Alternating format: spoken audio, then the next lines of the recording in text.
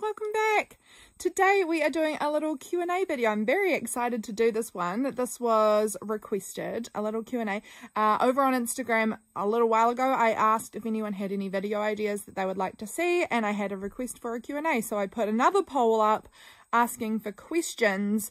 Uh, so I've got them written down here in my little Hobonichi Weeks and let's just go ahead and see how we get on with this. I am hoping hoping that we're doing okay here. I have been struggling to find a spot where I can sit where the lighting isn't disgusting, uh, like way too bright and harsh or um, or the sound isn't really terrible. So I'm, I'm struggling to find a good spot to film outside, but I just really want to be out in, in the sun. I don't know if you can see like the sun's on my arm here and it's like just the most delightful perfect warm autumn day and I just want to make the most of it if I can. So I wanted to come and film outside and I thought this is the perfect video to do that because you don't really need to be looking down and seeing my journals the same as usual. So we're out in the sunshine and we're enjoying the weather and it's just beautiful.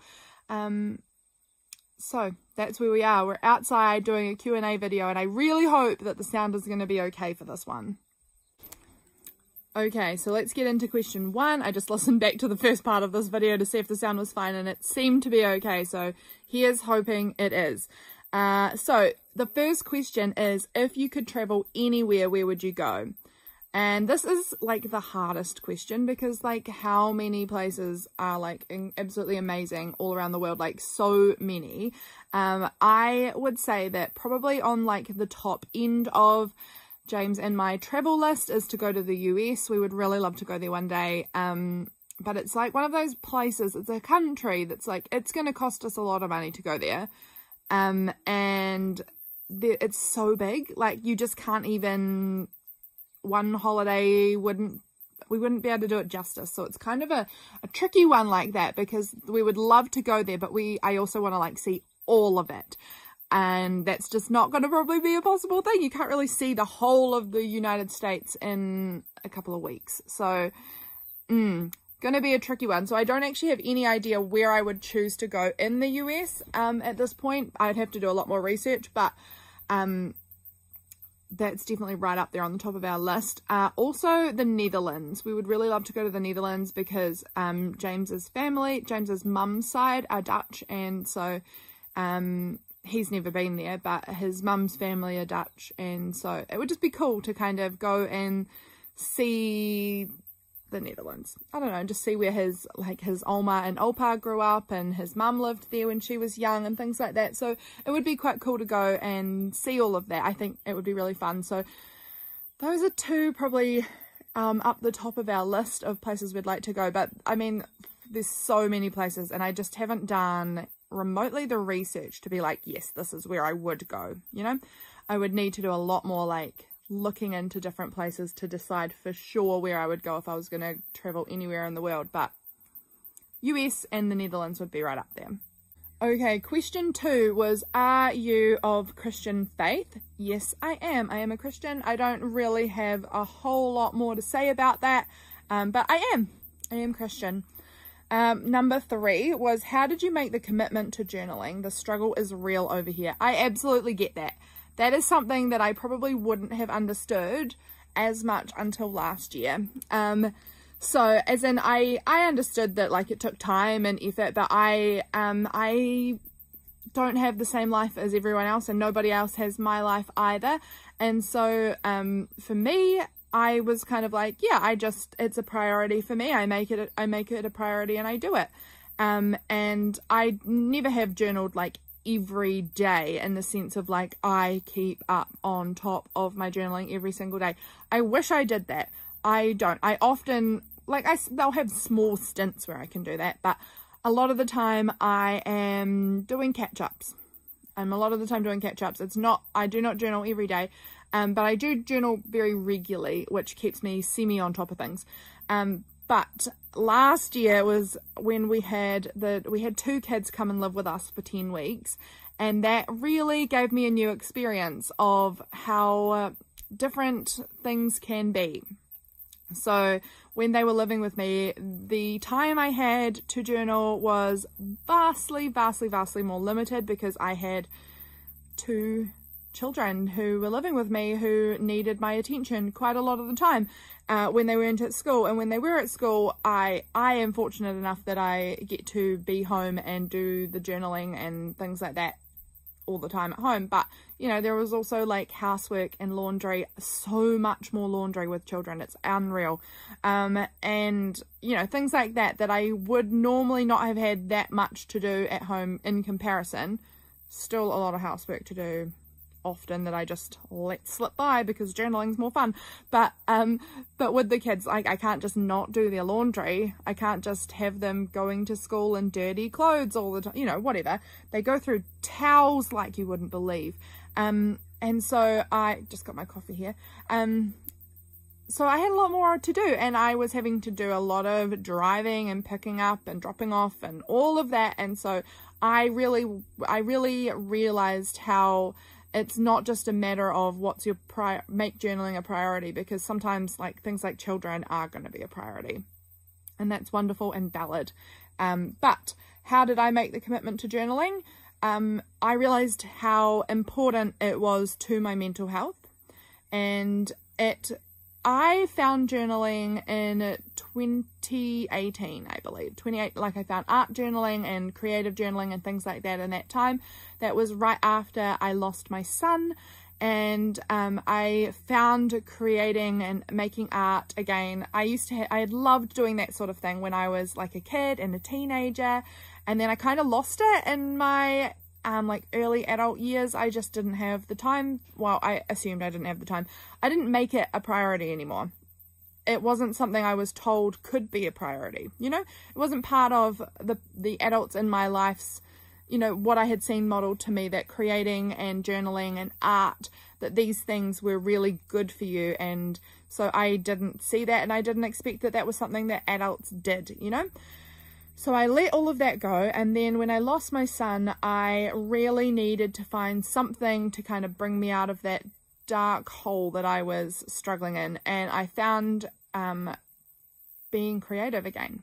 And it opened up a whole new world it opened up like a new way of expressing myself that when I didn't have words to express my pain I had art to express myself and so I really want to go back and see if I can find some of the early art stuff I did back in that time period because I don't know where it is, but I'm sorry if you can hear my chickens. They're, they're coming up behind me. Um, but yeah, that was where I found it again and I realized how good it was for me. And in that realization of how good that was for me, I realized I actually need this. This is art making and creating is not just a luxury for me, it's a necessity to keep me sane and to keep me going in my life. So I chose to make that a priority. And I'm so glad that I do. And I continue to make that choice every day because obviously I could give it up at any time if I wanted to. Um, but I know how good it is for me and I don't want to let that go. Um, I've also since then read back some of my really old journals um, from not from 2018. I didn't really write a lot at that point. It was more art making. Um, but some of my older journals from 2020 and things like that. And when I read them, I just am astounded at how much of life I have forgotten. Without writing it down, I just wouldn't have those those parts of my life anymore. And I feel like so sad that I didn't start this just years and years earlier. I wish I had been doing this since I was a child um, because it's just incredible going back through my life and seeing it written down and documented and and seeing things like I've I've what I've been journaling since my niece was born. She's nearly three now, and so her whole life has kind of been, you know, I don't document about her every day because I don't see her every day, but I see her quite regularly, and so she's in there quite a lot. And just watching her, you know, I've got this whole book, a whole book of rec recording her growing up in there and now I've got another niece Hazel and she will be growing up in my journals again. And just the way you know at the beginning of 2020 when I started like making it a really regular thing where I was writing we didn't know COVID was going to happen then. We didn't know the whole world was going to change and go into a lockdown pandemic situation. Like you just never know how life is going to change. And so I think I've gone kind of far away from this question, but I'm going to keep rambling. Um, you never know. And looking back, I I love seeing how my life has developed and changed and everything that's gone on over the past like four and a bit years since I've been really regularly journaling. It's just, it's pretty amazing. And that helps me hold on to journaling. At the end of last year, when I lost my daughter, um, I really felt like giving up journaling. I felt like I didn't want to document my life anymore. I didn't want to hold on to any of the memories. I just didn't, I didn't want to do it anymore. I wanted to quit everything. Um, but I told myself I had to give myself some more time to decide that. And I did give myself the rest of that month not journaling. I, I haven't really documented December at all. I documented up until her birth and then after that, nothing until January began because I just didn't want to. It was too hard. Um, and so I absolutely understand, I understand that. Um, sorry, I'm just checking where my chickens are. And I love my chickens, but I am still a little nervous of chickens. So if they got too close to me, I don't know how comfortable I'd be. I'm fine with them if I'm watching them, but if they're sneaking up on me, I think that I would probably scream, and I don't want to do that. Not on the video. So here's hoping they don't sneak up on me. Um, back to what I was saying. I um I didn't journal for that month of December, and sorry, I heard the move. I didn't document for the month of December and I don't regret that because I honestly don't think I'd want to really read back on that month because it was just awful and painful. Um, so I'm okay with that. Although I do often tell people to document the hard stuff too. I think a certain level of hard stuff, yes, document that. But other stuff, if you don't want to, don't make yourself. Um, and that might, is that a question that's coming up? I can't remember. Let's just keep going. I'm just all over the shop with this. So sorry if this video is a little bit crazy. Um, but I made the commitment to journaling because I looked back on life and I could see how everything changed and how I've changed and how life moves and the cycles of life and all of these things. And I just knew that actually I didn't want to give that up. While I wasn't loving where I was at the time and what was happening in my life at the time I know that I've been there before. Losing my daughter in December was my third child that I've lost. I've been there before. I know what that feels like and I know that you move through it and as much as I still miss her deeply and am grieving her so much um, I know that life will life just keeps going and I kind of want to keep documenting it and I've made that commitment to documenting no matter what happens. It doesn't have to be much. Like honestly, I don't have to do the big full spreads that I do. I, I enjoy it, so I do it. But honestly, it doesn't have to be much. I reckon that a great alternative, if you feel a bit overwhelmed by documenting every day in like a full journal, is like just stick to one page rather than a whole spread or a part of a page. It doesn't have to be a whole page. Um, and also things like five year journals where you just get like a small section, that's amazing. And that will be, you will look back on that and be really grateful that you've kept that if you just, if you even just did a few sentences about each day. You will be amazed at how much you of that you would have forgotten and how much of that you're so grateful you kept. Um, also the collage calendar. If you guys have seen my channel, I've shared these things before. Collage calendar. It's just a, like a calendar. It's just a square and you just throw stickers or drawings or words in it that just represent your day and it is another great memory keeping tool that's very like low pressure and low like it's not time intensive it's a small square on a page it's not that hard um so those are some suggestions if you are finding it hard to like keep a full a full daily journal where you are um what am i trying to say like writing a whole lot if that's too time intensive don't do that do it another way um, find a way that works for you. Write a line a day on your phone. Take a um, just a random notebook and just jot down bullet points of your day. All of these things, honestly, looking back at them, you will be really glad you had them because you forget so much more than you think you will. It's incredible. Okay, let's move on to the next question. I don't know if I answered that last question. Maybe I did, maybe I didn't, but I think it's time to move on. Do you have a favourite book to read? That's a really hard one. I really wish I was a reader. I am not particularly a reader. I want to be, and some years I do better than others.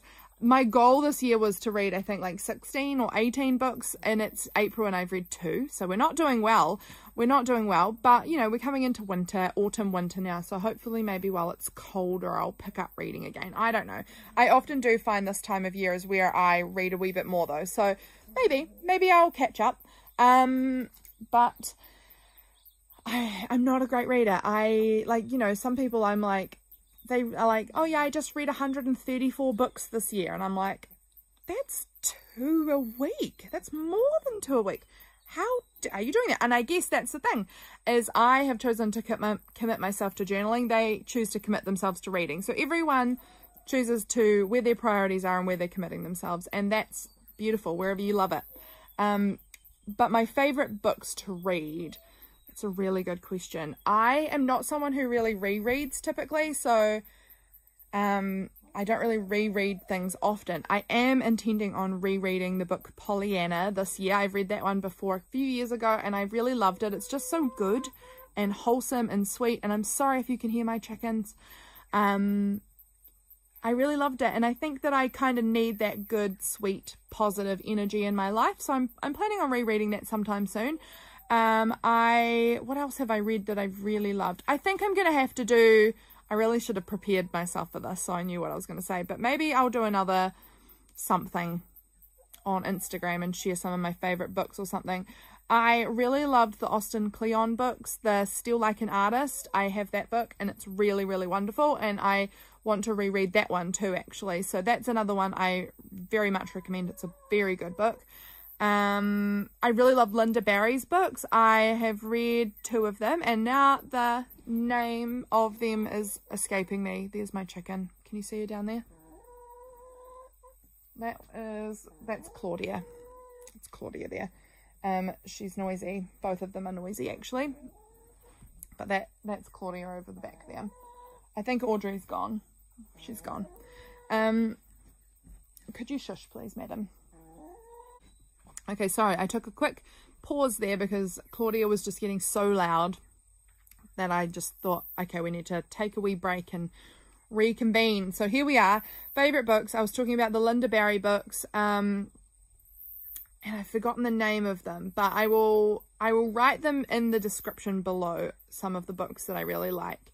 Um, Steal Like an Artist, and then the I've read two by Lynda Barry, and I'll see if there's any more books that I find. I'll look through my like books that I've read list and I will pop any other books that I think are particularly good ones down below. But I really did love um, Pollyanna. It's just so sweet. I haven't read Anne of Green Gables, but I really want to because that's just one of my favorite movies. Uh, you know, the Megan Follows one. I just love it. It's just the most beautiful story. Um, and then, I mean, there are other other books and I just can't think of them right now. And I should have written down a list so that I could tell you about I didn't, so sorry about that. Oh, look, there's Audrey. She's jumping up on the chair behind me. Great. Um, they're, they're both coming back now, and they're going to get loud again, I bet. Oh, well.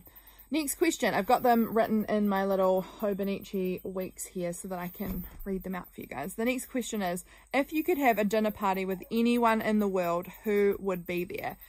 I am not someone who overly follows like celebrities or famous people of any sort. I'm very introverted and I don't I I would choose you guys. Really, truly, honestly, that's not just being cheesy. I would want to find a group of people who like journals. I don't want to talk with people. I don't want to talk with people who I don't share any interests with, who have, I mean, I enjoy, I enjoy hearing about people who have very different lives to me, a life to me. That's fascinating, absolutely fascinating. But honestly, I think my preference would be finding people who love creating and love journaling and love books and paper and things like that and being able to really have a shared experience and having a dinner party with people who love that sort of thing because I don't have people in my life in my day-to-day -day life who are like that who create regularly with in the same way that I do anyway. Um so I would be choosing I would be choosing my journal people that would be absolutely the best dinner party. Imagine a big dinner party full of everyone else who's doing the same sort of journaling and creating and we can just share tips and talk about our journals and show them to each other in person. That sounds like an absolute dream dinner party to me. So that's going to be my answer for that one. Do you have, here's my next question. Do you have a go-to when you want to create but you lack inspiration? And I think that's a really good question. Um, I I don't have a firmly established go-to that I know that this is what I do. Um, however, I know that last year, and this is going to come up in a future question as well. Last year I did the iCAD challenge and having just one little card that I just collaged on every day was it felt like a very fun warm up for myself in creating. I really enjoyed that. So I think finding a small creative warm up that you do um, is a really good idea. I also really like in my phone book, you guys may have seen my phone book of masterboards that I make where I just glue down random scraps. I find that is a really great way to creatively warm up as well. Um, speaking of warm up, it is getting really hot out here and I might need to take my jersey off soon. But um, I really do like, I really do like doing something really basic and simple where I just stick paper or mark making also is fun. Just like, you know, doing repetitive doodling on some paper. I don't recommend putting it directly in your journal because I think that puts pressure on yourself. I really think that that is like, oh, now it has to be perfect, and that can hold you back if you're doing something directly in your journal. But doing something on scrap pieces of paper, on little journal cards, on um, things like that, they I think that that's a great way because then if it is ugly and you hate it, who cares? You can throw that piece of paper away, eh, but you wouldn't you wouldn't feel so fine with it if it was in your journal. You'd be like, oh no, I have to try and cover it. Oh, I don't hate, I hate this journal now. Oh, it always is going to see this and I'm going to hate it. So if you are looking for a way to like build up your inspiration and just to do something creative, make it really low pressure and don't put it in your journal. That's my tip there. Don't put it in your journal. Make it on something that you're quite happy to throw away if you really hate it and you hate the whole experience. But if you hate it, like take some lessons from it. What did you hate about it? What can you learn from it? But also there's just no pressure of having it perfect, you know? You don't have to have it perfect. It's not on anything that you're supposed to try and keep. So that's my my tip. Do some I really enjoyed iCAD where I was just collaging um every day and I really like making marks on paper or just sticking down scraps because there's always a 3,000 million paper scraps for me on my desk or in the boxes around my desk. It's a little bit chaotic, but if you grab those and you just stick them down, that's it. That's good. That's a good way to start your day. Um, so that would be a creative thing to do if you're lacking inspiration. It's just plopping down some bits somewhere that you're not going to feel precious about them. So that would be my tip there. Uh, then I have the next question is what's the transport like for rural living where you are? How do you get from the north to the South Island and back again? Uh, so I am in, I do live rurally. Obviously, not all of New Zealand is rural, um, but I live rurally, so there is not public transport here at all. There's, there is a shuttle, I believe, that runs into the main city. I used to take that when I was a teenager, but I would never now because it's ridiculously expensive. Um, it's like an it's just over an hour drive to get to the main city, uh, or a main city. The city Christchurch here in New Zealand is the city I'm closest to. Um, I live about an hour, just over an hour away from there. Um, probably maybe an hour and 20 minutes, hour and 15, something like that. Um, and it I I live nearer nearer to a small town. There's a small town called Akaroa and that is about 25 minutes away from where I live and so I can go there but transport sorry get back to the actual question Lydia you're just describing where you live too much. The transport, there is no public transport in the area I live other than a shuttle bus that runs from Akaroa to the main city and that's a lot of money to get on that. So it's much cheaper if you can drive, which I can. So I choose drive. Um, getting from the north to the South Island, you typically fly. I mean, you can take the ferry, and people do if you want to bring your car across. Obviously, you'll take the ferry. So if you were moving between the city, uh, to, between the islands, you would probably take the ferry. Um, but the ferry is also, I mean, flying is expensive between the islands. Fairly expensive, I would say. Um, you can get good flights on occasion. You can get cheap flights, but it's still pretty expensive. But the ferry is expensive also, and it's long. So from Christchurch, which is the nearest city to where I live, I would drive about an hour and 20 minutes to get to the airport, probably an hour and a half maybe to get to the airport. And then to get to Wellington, which is at the bottom of the North Island. So I'm in the South Island, the North Island, at the bottom of the North Island. It's about a 50 minute flight um, to Wellington. And if I was going to Auckland, which is the city in the top of the North Island, it's about an hour and hour and a half, I think, to get there. So that's much, much better than if I tried to drive and then take a ferry and then drive. So if I wanted to drive to Wellington, it would take me probably about seven hours to get to the where the ferry is driving. And then on the ferry is like four hours, I think, um, to get to Wellington. That pulls into Wellington Harbour. So it would take a, it's a big day. It's a lot of day. And the ferry is my experience of being on the ferry, which I have done a number of times because I did move to Wellington for a while when I was 17. Um, people are just being sick. You're just sitting around while everyone's feeling seasick. So it's not like a really pleasant experience. They do play our movie that you can watch. And if you get on one of the one of the ferries, the Interislander ferry, you have to pay to watch the movie. The Bluebridge ferry, it's free. So I always opt for the Bluebridge because it's a boring four hours without a movie in there. Um, but again, you don't choose the movie, you just watch whatever they've got on. I guess these days, I haven't been in quite a while on the ferry. It's been a long time. So these days, you would probably be able to just watch stuff on your phone. But back when I did that, that wasn't really an option. You didn't watch stuff on your phone the way you do now. Again, that was back when I was using the ferry. I think the last time I went on the ferry was probably 15 plus years ago. So just smartphones have come a long way since then. Um, so no, not 15. Sorry, that's a lie. Probably 12 years ago. 12 or 11 or 12 years ago was probably when I was last 13. I don't know. Between between 10 and 15 years ago was when I was last on the ferry. It's been some time and smartphones have developed and people having, you know, Wi-Fi and internet connectivity on phones has changed since then. Um, so yeah, I recommend flying if you're going between the islands. It's definitely just way quicker and honestly it's a similar price. If you're just going, if you're if you're not wanting to take a car, it's a similar price. If you're wanting to take a car on the ferry, it's an extra like two hundred dollars or more. So it's way more expensive, but it means you have a car. But honestly, just hiring a car is probably worth it if you're not there for too long. So that's how we have to get between the islands. It's not, it's kind of a pain because it is really quite expensive to go between the islands. So I don't go often, not often. I went to Auckland last year James and I went to Auckland for the Backstreet Boys concert last year, which was good. Sorry, I'm getting really uncomfortable sitting on the ground here. Um, but we don't go very often because it does cost a fair amount. Like, I think our flights to get to Auckland and back in New Zealand dollars, so you'd have to figure out what that was in your currency. But I think it was about, um, I think it cost us about $600, $700. I think it was closer to 700 to get for two of us to get there and back. So it it's in within our own country and it's an hour and a half flight. So it's really pretty expensive. Um, we were a bit horrified at how much it was going to cost us to do that. But I mean, it, I, it's, it's just what it is. It's expensive. Next question.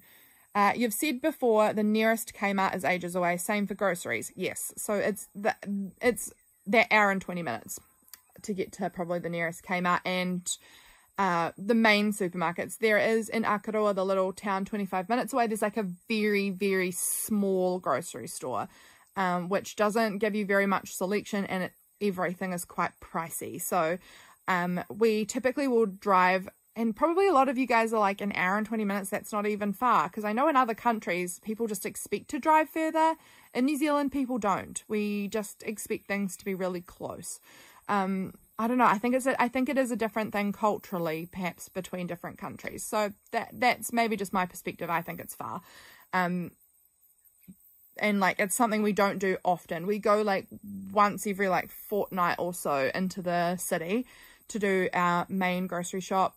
And then if there's anything I need in between times, I will just go to Akaroa. I go to Akaroa once a week anyway for my pottery class. So while I'm there, I'll just pick up anything that I need extra from the little tiny four square supermarket that we have there, which is very little.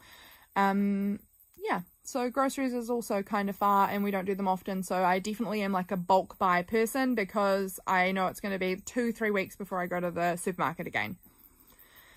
Next question. If you could chat to any artist, living or dead, who would your top type top five be? That's a really good question, which again, I haven't thought through the answer of, and maybe I should have. So, let me try and think off the top of my head. Um, artists living or dead. I mean, I'm going to come back to this. I'm going to come back to this. You're going to see me pop a clip in later on when I've thought about this. So there'll be a clip popped in here when I've thought about it. But let's move on for now because otherwise I'm going to sit here for 40 minutes just trying to think. Next question. Uh, what books inspire you to create? And I should have brought some of those out here. So maybe I'll add a clip of this in too. Okay, I'm going to do that. I'm going to add a clip in of some of the art books that I love looking through that I have. So you'll see that. Okay, so this question is what books inspire you to create? So I I there are just myriads of books, honestly. Um, but I'm going to share with you guys these ones that are just on my bookshelf that I'm actually really excited that I had this question because it made me pull them out again. They were kind of high and awkward, but it made me pull them out. And so now I'm, I'm like, I really want to read these again and just dive into them because, oh, they were so good. So uh, let's just go down the pile, shall we? Steal Like an Artist by Austin Kleon. I think I mentioned that one. Um, it's really easy to read because there's so many like large text and visuals and only quite small amounts of writing, but it's very impactful writing. Um, so this, and it's about creating in general. It's probably maybe leans I don't know. Does it lean more to writing? I don't remember. It's it's just about creativity as a general thing though. So it's a really wonderful book. Totally recommend reading it if you haven't already. Here's two others and I've read one of the others and absolutely intend to read the the other one as well. Um, but I only own this one. I love that it's in a square format. I don't know. It's just very interesting. But uh, this book is very like very inspiring with creative thinking. So that's a real good one. This is a Ken Done book. His art is just absolutely stunning. So two of these are, these two here are ones who are artists that I find very inspiring, their art very inspiring to look at. So they are also going to be included in my question about if you could chat to any artist living or dead, who would you your top five be? And sort of just taking that question as five artists that you really like because I, I don't know enough about them personally to know if I would want to talk to them or not, but I really love their art. So we'll, we'll talk about that in a minute, but these are books that are really inspiring. So this is Ken Done and I'll just give you like a quick little peek in here. Just, he's an Australian artist and my goodness, I just love the color and just the, I don't, I can't, like just the the essence, that childlike essence that um, his art has. It's It looks like it should be really easy to do, but it just absolutely isn't. Um, but it's it's stunning. His art is, look at that. Oh my gosh, it's just, to me, really breathtaking, this, this type of art. Look at that. I can't even describe how much I'm in love with that. Like, I know everyone has absolutely different opinions on what good art is and I know a lot of people see good art as maybe like realism. That is just not really my taste in art. I do have some art pieces that are realistic that I think are beautiful but this is this the colour and the texture and uh, composition in these really just makes my eyes dance. It's just beautiful. So Ken Done is this book is, is amazing and Ken Done is amazing. Um, this book here is a book I bought after seeing an exhibit by Joanna Margaret Paul. Again, fabulous. And then we've got um, Syllabus by Lynda Barry. I did also talk about this one briefly. This one was the best one that I've read. I read Making Comics or Comic Books or something um, by Lynda Barry as well. I would love to read some of her other books, but Syllabus I think was my favourite. Um, and I just adored reading it. It's it's like it's in a comp book. It's the size and shape of a comp book, and it's just the paper is that same kind of quality. It's on lined paper. I don't know. It's a fabulous read to make you get creative and think creatively, and I absolutely couldn't recommend this one enough either. So Syllabus is another fabulous book by Lynda Barry fabulous book. So those would be my books that I'm just recommending off the top of my head here. Um, and of course there'll be others, but those are some books that inspire me to create. So think of those. Uh, then my my oh what was the other question there oh if you could chat to any artist living or dead who would your top five be i'm just going to go with who are five artists i really love because like i said before i don't know if i um i don't know if i know enough about them personally to know if i'd actually want to have a conversation with them or not but Ken Done is one of them. His art just inspires me greatly. I am absolutely obsessed. He's obviously gone into a lot of like fashion and clothing and fabrics and things, but his paintings just blow my mind. This, oh my gosh, it's just incredible. And from here, from here, I'm going to say that this down here is a little portrait of Vincent van Gogh. He's another one on my list. Van Gogh's art also is just incredibly inspiring to me and beautiful and I would love to get like a proper art book of Vincent van Gogh's as well. One day I will. Um, I actually already might have one somewhere now that I think about it. I think I did get one from an op shop, but I don't know where it is currently. Um, but I, I love Van Gogh's art. I really do. Uh, so I've written down Van Gogh, I've written down Ken Done, I have also written down um, Joanna Margaret Paul, which is the this is her book. She is an artist who lived in New Zealand. She's a New Zealand artist. Um, she's no longer alive, um, but she actually lived in, for a short period, she lived very close to where I live, like very close. And um, I went to the art gallery in Christchurch while they had an exhibition of hers. And I didn't know anything about her. I wasn't going for her exhibition. I was just going for um, just to have a look around, really. And I came across her exhibition and I just sat in there for so long because I just couldn't stop looking at her art. It was beyond gorgeous to me.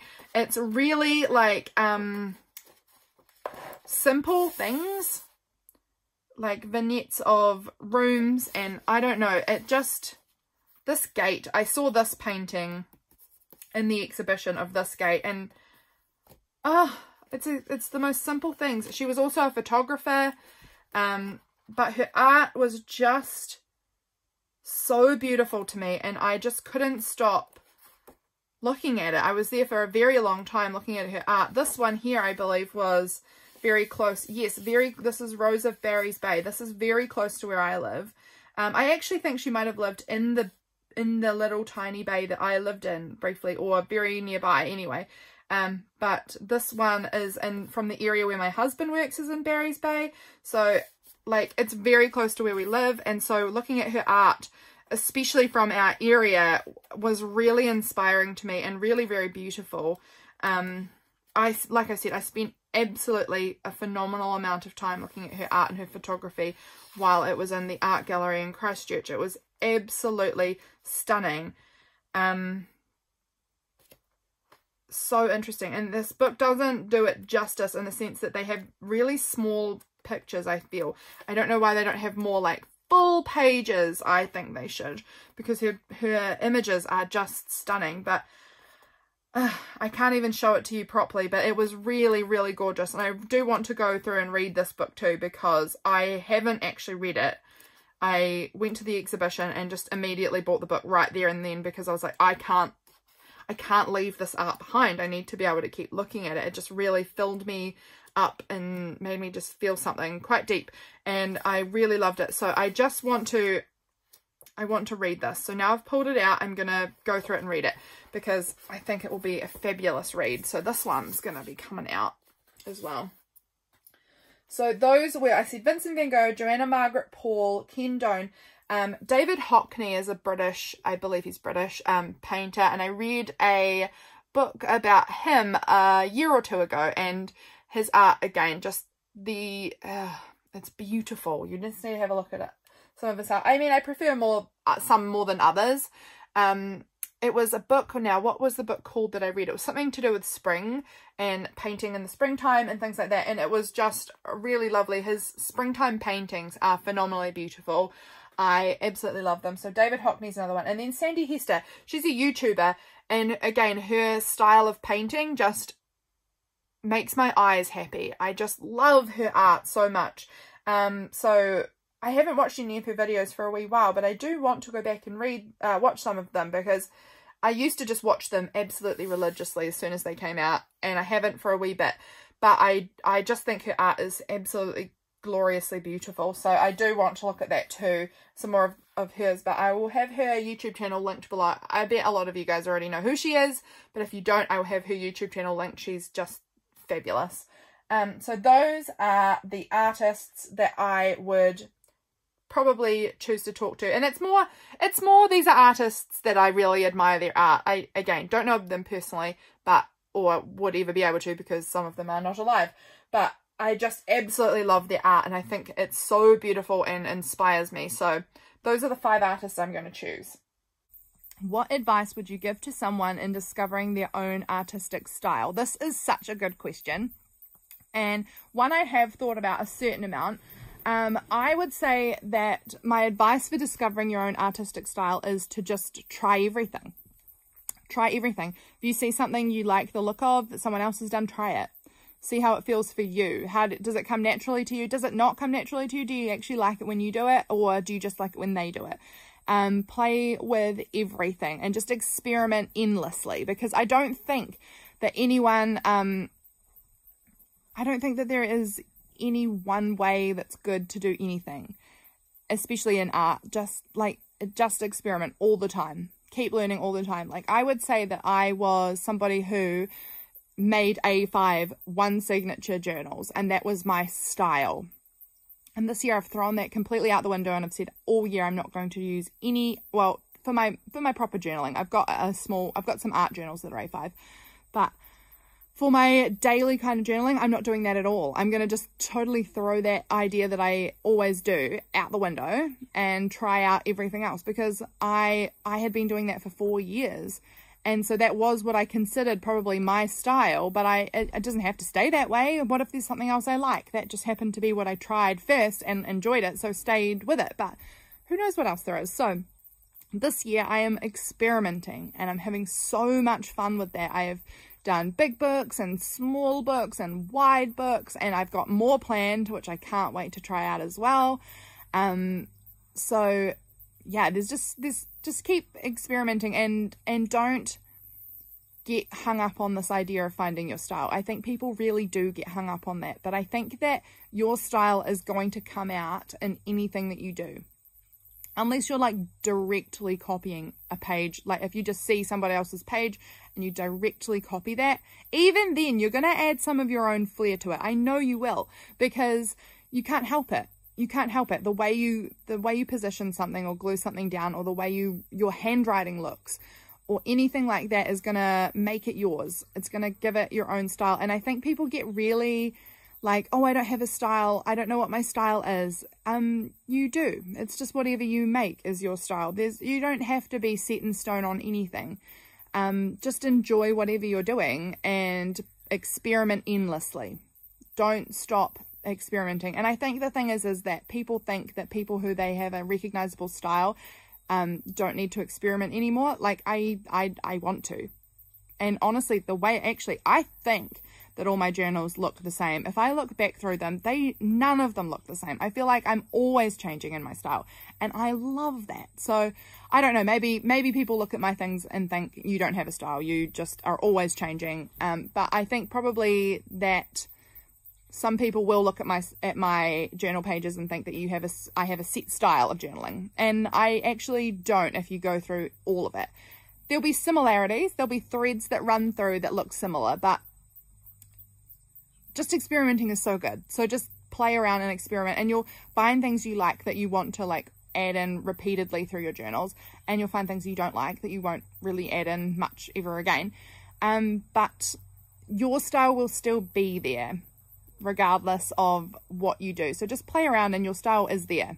And often you can't see your own style, but others can see yours. So I think that this whole idea of style and discovering your style is overrated. And and it puts a pressure on creating that people don't need. And actually you already have it. You just don't see it yet. Other people can see it probably though. So um don't don't worry about that too much. Just have fun and play and experiment all the time. That's all I can say about that. Next question. Uh, what, this one, I really love this question too. I've loved all the questions, don't get me wrong. Again, sorry, moving around and I have my pajama pants on. Yes. My rule is I have to get dressed on the top half. For these sorts of videos, I just need to be dressed on the top half. So I'm still wearing my comfortable pajama pants, even though it's like 10.30. Um, so this question is, what are some challenges you've participated in and which ones did you get the most out of on a personal level and which ones were more challenging artistically? And this is a great question. And again i haven't thought this one through all that well but i'm going to just go with the ones i can think of. So they said things like the 100 day challenge one little word icad things like that. So icad is index card a day in case you were wondering.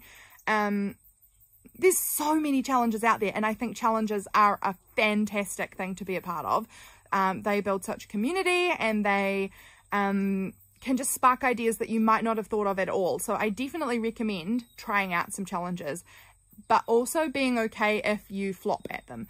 A 100 day challenge I have never successfully completed. ICAD never successfully completed. Um, so things like that, but that's not really the main point of it for me is it gets me creating and thinking in different ways. So I think that's the main thrust of it.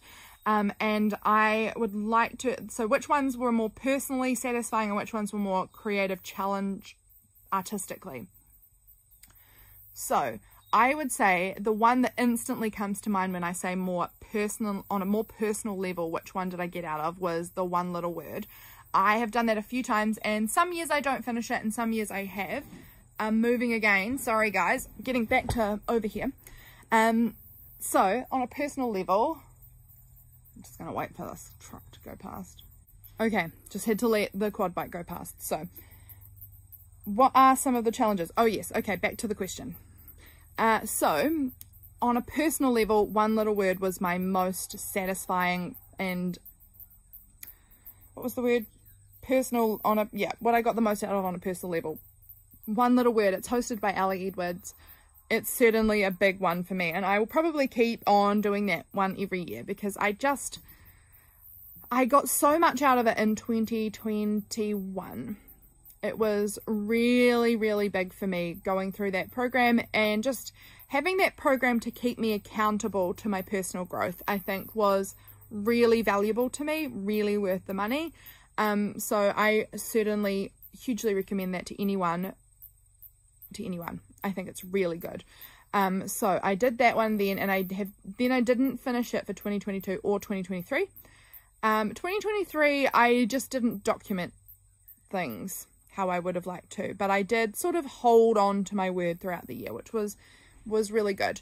Um, this year I'm doing it again, and once again I'm having a very satisfying year with it. It's feeling really like I'm feeling a lot of personal growth through it and I do think this year I'll probably complete it and I am documenting it and it's just been wonderful. So that is something I'm really enjoying on a personal level. It, it does push you creatively a, a bit but I think it is certainly more to do with personal development than creative challenge um, so it depends on what you're looking for, I guess. If you're looking for more of a creative challenge where you're given prompts and things like that to push you creatively, I don't think One Little Word is probably the best program for that, but I do think it is very good on a personal growth level that includes creativity.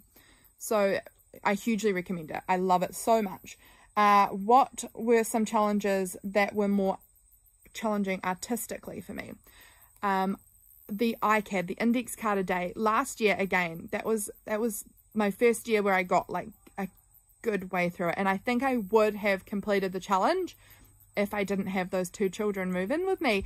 Um, and that was, it's totally fine. Like, it was great having those kids come and live with us. It was a beautiful, different experience, but it did take up a huge amount of my time.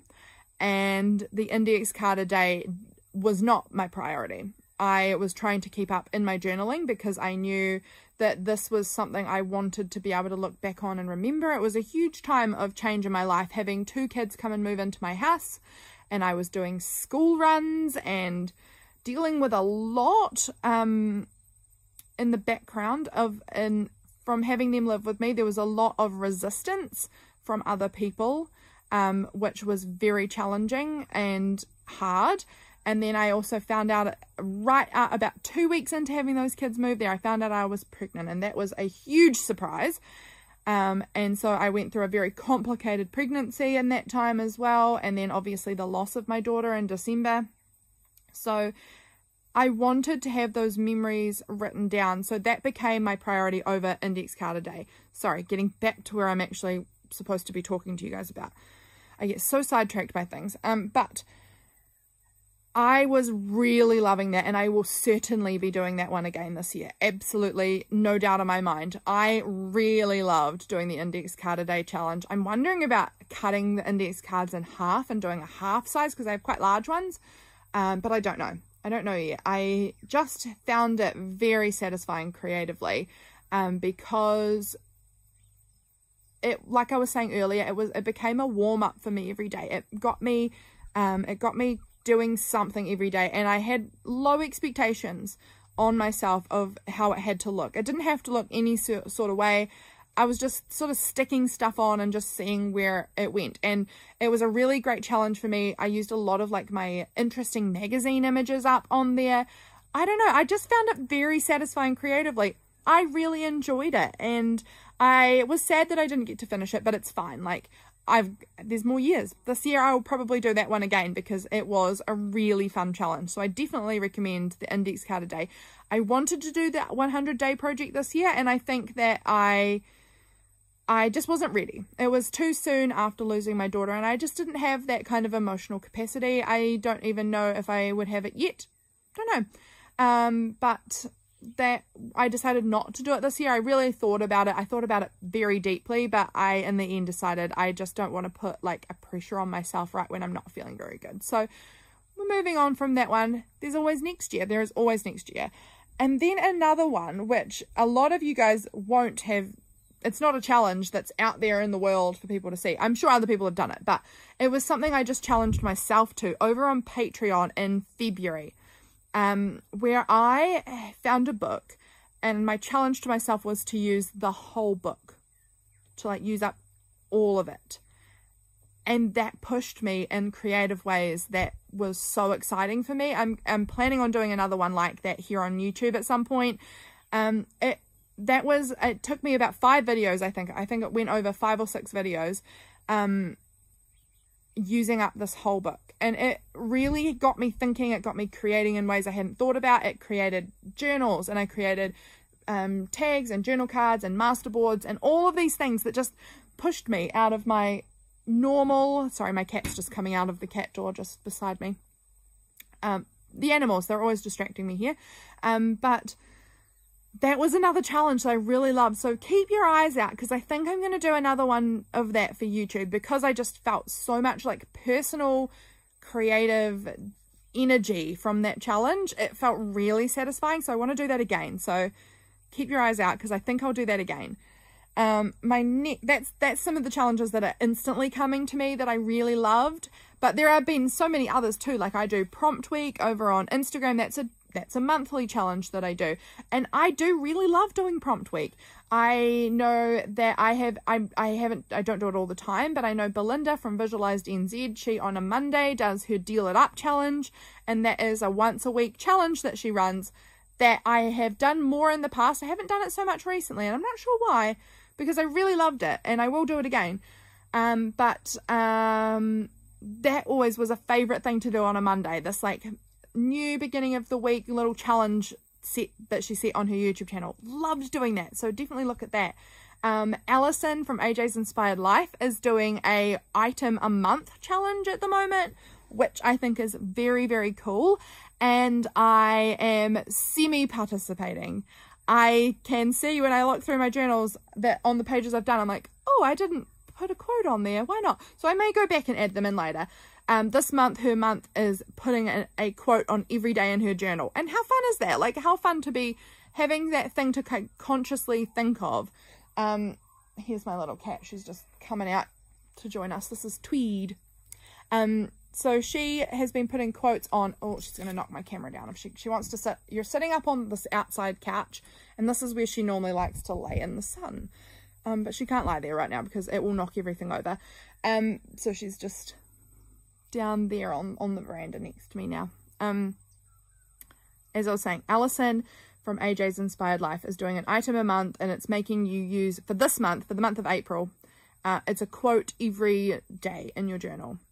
And I absolutely love that. And I can't wait to see what she does next month as well. We, I did personally, I just did stamps last month, like using my, my rubber stamps and things. And that was really fun. So these are just some suggestions of fun challenges that I've been enjoying. And I will leave the links to the people I've mentioned if I can remember down below, I will probably have to watch this video in its entirety to edit it all because there are so many parts I'm going to be having to cut out because I'm all over the show and cats and chickens and vehicles make this hard outside. Um, but that's fine. We are getting near the end now, friends. We're getting close to the end. Um, so what does your ideal creative day look like? That's another great question. My ideal creative day would be one that I just feel a lot of creative energy and flow in. Um, this year, I have been changing things up just a touch for myself. So, um, often I had been in the past being like, how much I just need to be in my in my craft room. I need to just be making or, or just sitting in there trying to do stuff all day.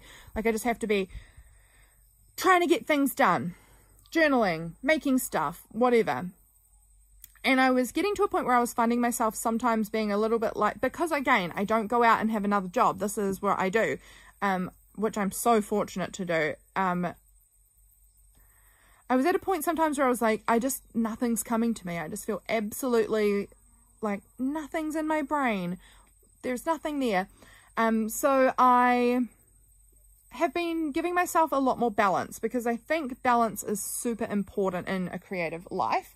And just creating all day I found was actually stifling me creatively quite a lot um, because there wasn't a balance. So now I have been very much enjoying spending my mornings typically creating. So I will go and once James has gone to work, I will make myself my coffee and I will start filming first thing in the morning. That's when the lighting is best in my craft room. So that's when I typically film is between like 9 and 12. I'll try and film a video.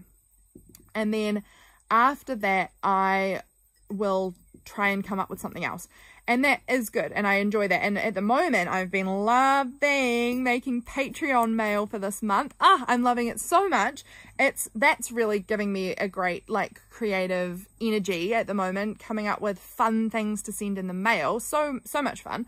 Um so if you are wanting to be on the mail tier for Patreon go and check that out because it is making me happy. It's making me really happy creating stuff and for that um, also things like making journals and things like that. Um, things that I don't have to film happen in the afternoon. So a lot of the writing in my journal happens in the afternoon because the light is awful in there at that time. So just things that I won't be filming, but I can still do. And I typically like to finish up at the moment. I used to try and push out in there until James got home.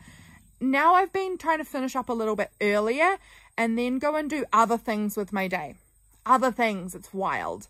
Um, I have been enjoying being in my garden a little bit. I am no gardener at all, but we got a veggie pod recently. I will take a little clip of my veggie pod. I want to share that with you guys because that has been bringing me a lot of joy.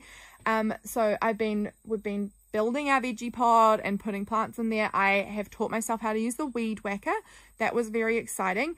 Um, I tried baking some bread recently, which wasn't amazing, but I'm going to keep trying. I'm not a bread maker. Like I'm not I'm not talented at this, these things, but I want to be. So I'm going to keep trying.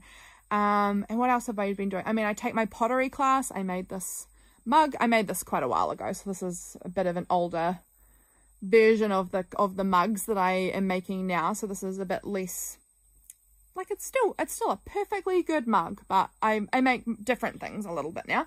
Um, so I have my pottery class once a week. Um, and I don't know, I've been just trying to do things outside of my like journal realms, you know, things that make me feel a little creative, but in other ways. So like I have been wanting to try and like figure out how to like do my own clothes mending. I really want to pick up embroidery again. I used to do that a long time ago. I really want to try like some, I really want to learn how to do like folk art painting. My mum used to do that when I was little and she was just so talented and she doesn't do it at all. She probably hasn't done it in 25 years maybe. Um, and she should though, because it was so beautiful and I really want to learn how to do that. So I think my ideal creative day would be to do my filming in the morning and to plan my journal for, for an hour or two after that and then do something completely different from journaling. Something to just like push me to challenge my mind to go elsewhere a little bit. I think that's really creatively satisfying.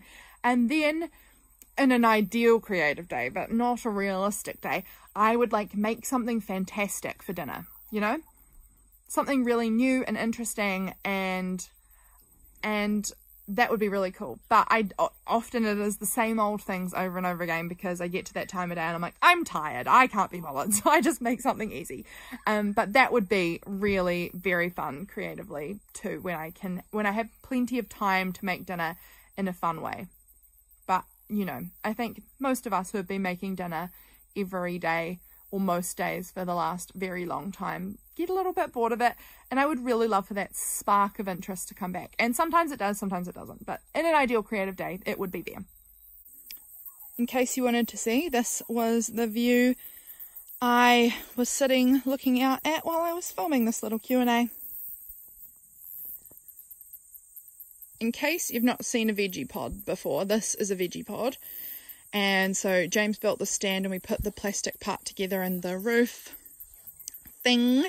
Uh, it's very cool. Sorry if this is real wobbly. And I know a lot of you guys are probably not interested in gardening. And neither am I typically. But let's have a quick look in here.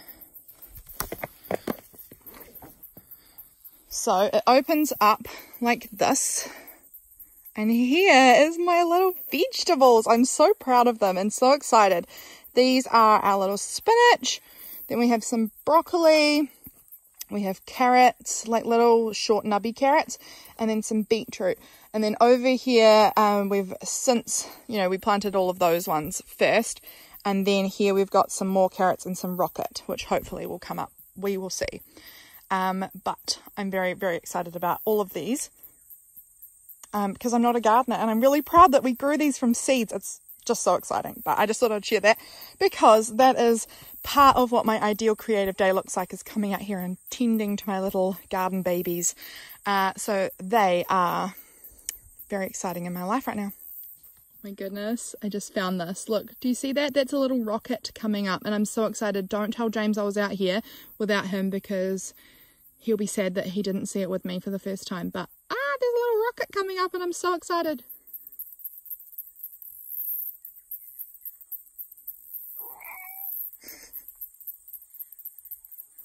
There's the cat. We are also trying out growing our own mushrooms at the moment. So as you can see, they are really weird looking and they are growing out of this box. It's so weird. They've only, it was like a flat box five days ago and it is just ballooning out of there like nobody's business. It's crazy. So that's also really exciting growing our own mushrooms. And here is my little herbs. And look, here's the chickens. Claudia on the left, Audrey on the right. That's Audrey. Hello, Audrey. Um, but here's my little herbs, and they're looking a bit flat because my chickens keep sitting on them, and I need to put some little prongs in there. But these are my chives. This is just a beautiful summer daisy. What was it called? Summer angel, I think, and we were given that when Skylar was born. Um, again, I need to do some work with these, but this is my little basil. I've got a little thyme over here, rosemary, and then these sweet little pansies, which some of you guys will have seen before um, from my printables from February. So that's my little herb garden situation in pots on my veranda. Okay, next question. How do you decide how much journaling to share? Personal pages versus shareable pages. Um, I that's a, another really good question. I am somebody who naturally is quite open to sharing a lot of what's going on. Things that I don't share are more things that are happening in other people's lives. So things that aren't mine to share, I ideally won't share them. Um, because that's not my place to share that on the internet, but a lot of what goes on, I mean, there are still personal things of mine too that I don't share. And if I am going to write something that's really personal and private, I'll often tuck it in a pocket uh, or put it behind a flippy thing or something like that so that um, when I am sharing my pages on YouTube or Instagram, the really private stuff isn't visible. Then there are also other times where I do put it really visible and then you'll see it on Instagram and I've kind of like redacted it. I've blurred those lines out so that people can't see it. Um, because there are personal stuff. Like when I had those kids living with me, I didn't want to like share a lot about them, about their names and, you know, things like that because that's their personal life. Um, and so I wasn't going to just openly share all of that. I shared parts, but minor parts. Um, so I would say that I I write whatever I want to write, but I think about is this something that I want everyone to know? And if it is not, it will get tucked away somewhere privately um, on my journal page. I and I think that's a really great way of still including it in your journal and being able to share your journal without having to share all of your journal. I think really utilize the pockets and the flips and um, things underneath things so that not everything is visible. And I think that can be really good for writing more private things without having to share it with everyone. Um, but overall, I would say I'm naturally a sharer. I like sharing things. I like sharing my life with people. I I don't know. I've I think I've always been like that. I think I've always been someone who is naturally quite vulnerable and and likes sharing. So I don't have a lot that's private, but there is some things. Again, it is vastly the vast vast vast majority of anything I don't want to share is because it is it belongs to somebody else. It doesn't belong to me. So that is that is my thoughts on that. I just like to share. But if you don't want to, hide it or put it in a, have a whole different journal just for like the personal thoughts part maybe if you don't want to hide it either. Some people don't like to add in pockets and tip-ins because it makes their journals bulky. So don't write it in a but write it in a different journal or just don't share pages that make you feel uncomfortable. If it's making you feel uncomfortable, don't share it. Um yeah, that's my thoughts on that. Uh this is the last question I think. Best recent finds. And again, absolutely should have thought of this. Absolutely should have brought stuff out. What are my best recent finds? Okay, so the last question that I'm going to answer are recent finds that you really love. So this one, uh, I feel a bit weird about it. Like, I don't know if I would, I don't know exactly if I count these as recent finds that I really love. I mean, yes, they are, but some of them are not that recent. I'm trying to do everything that it is just from this year. We're in the first you know, third of the year still. Um, but a lot of these things you guys will have seen from me. So I don't know. I just feel like a lot of the things I've got this year are like repeats of things from before. They're not like new finds, you know, exciting new things. Um, but these are good things that I really like. So I'm going to go ahead and say them anyway. This, I've had plenty of these Glitterific folk art paints before. This is my most recent colour.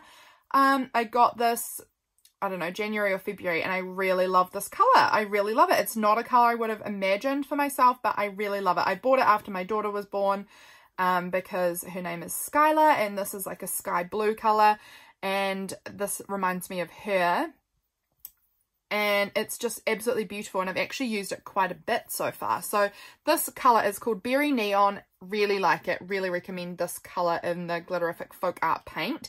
So paint. I don't know. It's like a glitter. It says acrylic, paint. It is just glitter, really, with the goop so that it sticks. Um, really love it. These are something that I found about a year ago overall. Like I only started collecting these about a year ago and quickly became obsessed with them. I've got a little bundle of them here. They're not cheap. I think they're quite expensive. Oh my gosh, everything's falling. They're quite expensive, really, but I think they're very worth it. For me personally, I really love these. Um, I have, as you can see, bought seven of them and absolutely intend to buy more. When I can save up my pennies, I'll, I'll head back into an art store and pick up different colours. need to restock on my uh, tangerine neon as well because that's getting a bit low and the clear holographic one's getting a bit low too. Um, so loved those. Um, this year I have been trying out my Hobonichi Weeks. Couldn't be more obsessed with this. Absolutely. If I can, if I can, if I can, uh, if I can justify it to myself, I will be buying another one next year. New Zealand people. When we get to Hobonichi purchasing season, if there's anyone in New Zealand who is also wanting to purchase, let me know and we can maybe try and work out like a shipping situation together. It's the shipping that makes these killer. Uh, So, absolutely, absolutely in love with My Little Weeks. Couldn't love it more. Use it every single day, constantly using it. Um, you guys have seen my little first quarter flip through of this. Um, I've shared that on, on YouTube already just recently. So absolutely loving this. So this is a new to me. Like I've just been in it this year. Absolutely loving it. I know what all the hype is about now. It's just so fun. Do I think you really need it to be a Hobonichi? Probably not. You could probably do the same sort of thing in a lot of different planners but I just love the size. I just love it. I thought it was going to be too small when I first got it, and I absolutely love it. So that's a new to me, you know, kind of find that I'm obsessed with. So Hobonichi Weeks is real good. This one I got just the other day. Like I got it, mm, when, a week ago? Tomorrow will be a week ago. And it's from Kmart here in New Zealand. Australians, you'll probably have it too. It's new to what I hadn't seen it before in Kmart, so I don't know how new it is. It came with five very terrible ink pads. They were not what I was looking for. Uh, I just really liked this font and I really liked the size. They're quite big um, and they're just a really interesting size. They are not super well made in the sense that this J stamp is like the actual stamp part is so far up that the dot is half cut off at the top. Um, but overall, I really love them and have been using them quite a bit since I got them. And it was only $8. So really, really reasonable for an alphabet set, I think. Um, I just really like this stamp set a lot. Um, it's a really cute font. So I think these are a really fun new find for myself. Really like these. Um, and then I have this pen, which I found also recently. It's a Schneider for documents pen. Um, it's made in Germany. Don't think that that matters probably. 0.6. Um, one business. I don't know. I don't know. I'm just enjoying it. It was quite expensive. I definitely think it's a high price pen for, in my opinion. Um, but I just really like it. I don't know. This is what the nib looks like. It just flows. Let me just get this little scrap of paper here. Um, not a good paper to show you on really, but it just flows really nicely. Um, I liked it. I bet it will be one of those pens that I buy. I really like and it runs out of ink in like two seconds. But we'll see. Um, I am liking it so far. So that is one that at this point in time I'm recommending. But I've done this before where I've recommended a pen and then being bitterly disappointed the next day. So at this stage, I really like this pen. It's working nicely. This one here was something I got at the beginning of the year too, which is not going to be for everyone. It was just a favourite find for myself. It says love and courage, obviously, and I was very excited because um, I am doing one little word. I told you guys that already, I think. Um, I'm not sure. I filmed the outside part, all of that, and now I can't remember where this question fits in, if it was before or after. Um, I've already talked about it, so you guys know what I'm talking about. One little word course. Um, and uh, my word for this year is courage and finding a tin that said courage for me to hold all of my little bits in here. These are like little bits that I've got shoved in here that I want to use in my journaling about my process for the year. My one little word journaling. It's all tucked in this tin. And love is a word that's like an overall word for me for life that is very important to me that I started to learn about this this word and what it means to me when my son was born. And now um, courage is my word now that my daughter's been born. And just finding a tin that said love and courage just felt very special um, a very special find. I got it in case you're interested I got it at Mitre 10 which for New Zealanders you might be like oh didn't expect that but that's where I found it and I really love it and um, it was a great find for me for this year particularly and it will be a nice treasured memory for in years to come when I'm not working with the word courage anymore, just of this word and the courage I'm finding throughout this year. So that is my finds. Um, yeah, those were my, my little finds that I've really enjoyed from this year. Top little things. Okay, this next question is your top five favorite small business stores and Patreons that, or Patreons, etc., artists that you'd like to suggest to people. This question makes me so nervous because I am sure I'm going to miss people and I don't mean to at all. But um, I'm going to try to say some of my faves. So, I am currently a patron of Belinda from Visualised NZ. She is someone I'm currently a patron on and so is Jess from Jess from Love Rain Journals. I'm currently a patron of hers. I have been in the past patron of Ronnie from Bad Jones Rising. Her stuff is incredible. Um, I've been a patron of a bunch of different people, of Jen Hall, who's Painty Hands Art. She does amazing things. I've been a patron of um, Dolly, who's Gypsy Rose Paper Magic, I believe. Uh, I've been a patron of Ricky from Starmoth Press. I've been a patron of, oh gosh, it's just so hard to remember because I've been a patron of a lot of different people.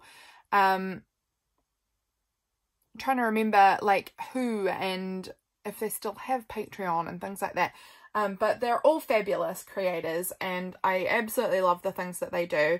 Um, ooh, who else? Um, I'm th trying to think of like Etsy stores that I also think are great. I really love, there's a New Zealand artist who I really love buying her stickers and cards and things like that. She does really lovely art and I'm just trying to think if I've got anything of hers nearby. Um, I don't, I, I mean, I, I do and I don't. I've got them somewhere, but I wouldn't be able to find them in a pinch. But her name is Katie and she is from Southland and she is in my backyard. I'll have her store linked as well. Um, gosh, I just, it's a really hard one because I know I'm going to be leaving someone out and I, I am so sad if you are hearing this and thinking, oh, I thought she would say me. I am saying you in my heart. I've just, in this moment, off the top of my head am really struggling to think of people. And it's not because I don't love your art. I if I've been a patron of yours or have bought something from your Etsy store, I do love your art. I am just a, sieve in the brain and my brain is not helping me out today. So I but those are some people who I totally recommend, totally recommend them. Absolutely go and follow them um, and support them if you can because they're fabulous people yeah but I think that's it. I think that's the Q&A, guys. And I have been talking an awfully long time. I can see that we are over an hour, I think. This video will be well over an hour, so it's going to be a long, chatty one. So I hope that you have enjoyed it. I have enjoyed it. I have really enjoyed sitting out here in the sun and just chatting with you guys about crafting and about New Zealand and life and things like that. Um, I hope that you guys are well. And if you guys have any more questions, please feel free to ask them. I will happily do a part two Q&A um, if there's anything else you want to know about anything. And I am, like I said, I'm pretty open and vulnerable re reasonably. So if you want to ask anything about uh, where I live, about my garden, about my life, about James and I, about our children and, and infertility and child loss, um, if you want to ask about journaling and crafty things or anything, just whatever, family, whatever you'd like to know. I am pretty open, so just let me know and I would happily make a part two Q&A if there's any other questions that you would like to know about me. I am an open book, so hope you guys are well and I'll see you guys again really soon in my next video. Bye friends!